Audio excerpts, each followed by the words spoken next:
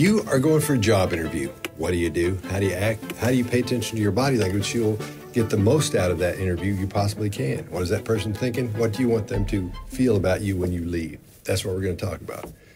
Greg? Yeah, I, I, don't think there's anything more to say about it than that because we've had lots and lots of people ask us, what do you do when you go into a job interview that makes you believable? And so, from my angle, the very first thing is forget all those myths. Forget all those myths. Raise your chin, look at the person, pay close attention, keep eye contact, don't overdo eye contact, look away when you have to, look back when you don't. Take your elbows away from your sides because even though this is a myth, you, everybody doesn't know it's a myth, and you will look like you're closing someone out. So, eye contact and eliminating that other myth about crossing arms are my first two. Chase, what do you got? Yeah, so I would, I would just write down two things excitement and outcomes. So, always treat any kind of nervousness in your body as being excited. If you're excited about something, it's the exact same physiological process as being nervous. The same thing happens. Your heart rate increases and all that. So we need to reframe, never use the word nervous again. Say, I'm excited, because it's exactly the same. And if you're excited during a job interview, you come across so much more comfortable. And then we get to outcomes always talk about the outcomes that that person is looking for in that candidate because you want them to be thinking about the perfect outcome while they're looking at you. Scott? All right. One thing I would suggest if someone's coming into the room, you're already waiting on them, and the person's just coming in. If you're going to get up and introduce yourself, try this because they did a big study, I believe it was at uh, IBM, where the person sitting down, uh, when the interviewer came in, they stood up and they fixed their jacket or they adjusted themselves really quickly, and then they began the interview. Also, but when they come in, not just adjust, but kind of get some stuff off of your jacket or your dress or your shirt, whatever it is. That'll let that person know that you care about how you look to that person. When you talk to them, don't talk as fast as I talk. Think about what you're going to talk about before you get in there so you'll be able to talk at a slow pace and get your point across. As you look at them, don't stare at them so it gets weird. Don't like burn a hole in them, but look at them and, and be at ease and have that that little resting face. It's a, a nice little. It's not a big yeah. smile, so you look weird. Put a nice little expression on your face, so you look uh, normal, fairly normal anyway. Can I add to that? Yeah, really quick. So if you have rehearsed a bunch of stuff, what I would highly recommend if you're thinking about going through a lot of this stuff, like Scott said, you do it in bullet points and yes. not an exact script. Because if you have a script, your brain's going to try to default to it every time. So try bullet points instead. So, guys, and the other thing is let's keep this going as long as you have ideas. Just because we go, we can just keep rotating around because yeah. there's still a lot to cover in this. Okay, let me throw this in.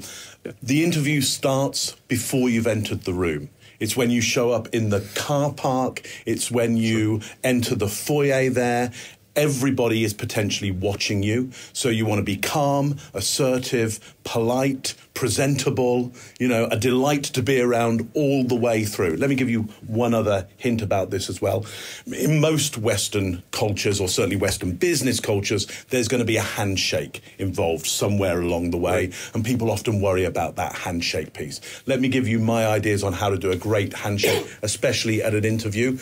I would give the other person the upper hand which means they get to put their hand on top of mine. What I don't want to do is make sure I take the upper hand mm-hmm. on them because Chase, I can see in his eyes there, is already going, I hate this guy. I yeah. hate this guy. It's, yep. it's already yep. there, isn't it? But when I give him the upper yep. hand, it feels good. He's got advantage over my hand. He's got gravity on his side. The other thing I'm going to do is step into it slightly so he has easy access into the vulnerable part of my body. What I'm trying to do is make Chase feel confident, make my interviewer feel confident because their feeling of confidence will be projected onto me. They'll be confident in me. And you know, Mark, the one thing I would say is something you just did there is important. Yeah. You did not step in straight to it no. this way because that's confrontation. Yeah. And that confrontation will make the person uncomfortable on a level and they want to understand why, but it's not good for you. Yeah. And one thing you said it begins in the in the parking lot one thing that I would advise if you're going to a job interview or anything is think about the difference between performing and connecting and those two yep. mindsets. Yep. Instead of this job interview is some uh, like a costume that I'm putting on for this, how can I become the type of person and just live that life off camera? Nobody's looking up to the weeks before this job interview. I'm still that person so that when I'm in that room, I'm connecting instead of performing. All right, let me add. Let me add to that. There's a thing called the instantaneous impression study. Go look that up. Throw it in the goo, because that talks about, in other words, how you need to have a, a good resting face, a pleasant resting face. What Mark's talking about when you're in the parking lot, when you show up, you don't think anybody's watching you. They could be watching you from the window. They could be getting out of their car at the same time you are, and you don't know the. per- This could be the person you're meeting with. So you need to have a pleasant look on your face because that first six to nine seconds that they meet you or see you before they meet you, that's when their brain makes up a decision about whether they're going to like you or not or how much they're going to like you or not. So it's important, practice it in the mirror. Look in there and, and get a, pre- a pleasant little look on your face. Not again, not so you look like you're crazy, but so you look pleasant, like somebody you want to hang around with. And keep that on, when you're at the water fountain, do that. When you're sitting there in the waiting room, do that. Have a pleasant look on your face. Yeah, the thing I would like to bring up uh, and for us to discuss, look, I've, I've done hundreds of job interviews, quite literally. I was a corporate guy forever. And one of the systems they use is something called targeted selection. It's used all around America, outside of America, and there are other versions of it too, where they say, Tell me about one time when you did X. That is a trap. That is a very deadly trap for most people because they, if they're not prepared for that, they suddenly go into fight or flight and they go, I don't know how to do this. Let me give you a couple of things nobody is so insidious as to try to trap you. They're trying to find out whether you have the capability to do what they need you to do. So the first thing is get control. Chase, you called it turning nervous into energy or into excitement. Take control of that fight or flight. Curl your toes in your shoes. Do something under the table so that you're controlling the thinking brain and bringing it back online. And then think about what is it possibly they're trying to reach for with this question. And if you don't have an example, just take a few questions, a few sentences, a few words, and sidestep and make it about the topic, not about the exact activity, and say, the closest I have to that is, just practice saying, the closest I have to that is, it's a stalling technique that we tell you we see in people who are lying all the time, but it's also a stalling technique in people who publicly speak. It'll give you a chance to think and to reframe the question. Let me add to that because you, with that, uh, you know, the closest I get to that is you're going to have like a, a, a who or a what or a when. You're going to have one of those W answers, which are going to be fact based, we would hope, and they're going to be things that happened.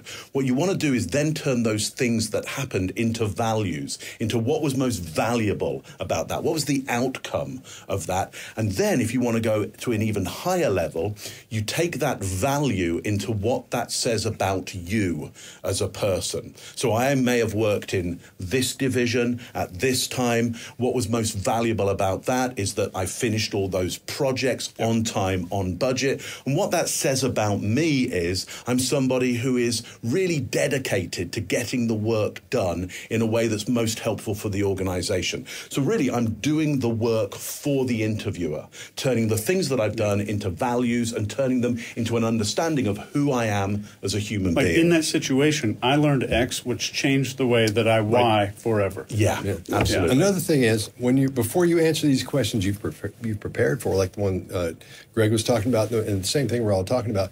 When they ask you something, don't just go blah and let it come out real quick. Act like you're thinking about it for a second. Just pause for a second, and then because who wants an answer? I mean, if they ask you what time it is, tell them what time it is. Don't go. Well, you know, it's almost four thirty. Tell them what time it is. But if if it's not, if it's something that's important, just pause for a second like you're thinking about it because it lets them think you're that you weren't prepared for that question you've thought about it and dang here it comes so Well, the last thing to remember in terms of that for me is if Chase is going to take the time to interview me, I have value already based on something he's seen, she's seen, whatever the person's talking about. They've made time for you in their calendar. So you have value to them and go in with that mindset that I have value. If you go in the mindset, well, there's no way they're going to hire me, then you project that and you're looking for negativity and that negativity leaks out of you. That's my opinion. Let me add one more thing around non-verbal communication. In fact, what I'm going to do is go and grab a chair. Hold, hold the stage for me for a moment while I go grab uh, this chair here, which is probably a little bit, little bit high, but it'll it'll make the point. I think is that what we tend to do when we sit down at an interview is get really close close to the Yes. furniture, Yep. you know, and, and we'll probably want to touch the furniture. Some of us might hang on to the furniture like it's a, a fairground ride from of death. What I want you to do is think about being your your stomach area, your navel being a hand span away from the edge of the table. That means the interviewer can see more of you. Uh, when insufficient data, we default to negative. So if I hide myself behind the table, they're going to default to negative ideas about me. I want positive ideas around me, so I'm just trying to show them more. So I can give these truth plane gestures, open palm gestures at navel height, away from the table, and they can see me. They're going to trust me more. I'll stay sitting while I'm. You got anything to add, But I got one last thing. One last thing to remember is a job interview is a two way street. When you're interviewing for a job, you're not just interviewing for you trying to persuade them to give you the job. You're also listening to see if you really want to work there. That's the key to remember. And so you need to ask good questions when they're at the end. Don't try to come up with a, hey, I'm the most brilliant guy on earth. Ask something you really care about because it, you might find out that the job that you're interviewing for would be a living hell when you got there. That's all I got. Lovely. All right. That's it.